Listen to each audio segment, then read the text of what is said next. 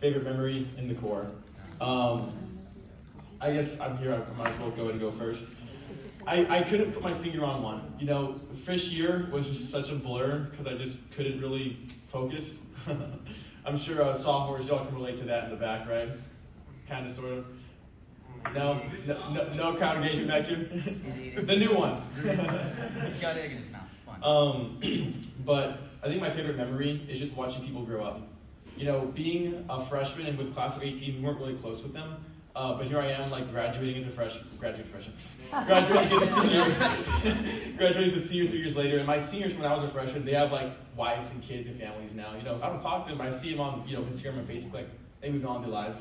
You know, class of 22, you know, incoming seniors, those were like our babies. You know, they were our fish when we were sophomores. So we had three years to like grow and develop them and all that yesterday seeing that second pass with on and all that, I was like, oh my gosh, you know, I saw Jerry up front and I'm yelling, Jerry, Jerry, you know, we saw Madison, like Madison, Madison, and all that, you know, and just everyone with the boots and swords and all that, just like, dang, like they're taking our spots now, you know, our time's up, it's their time to shine.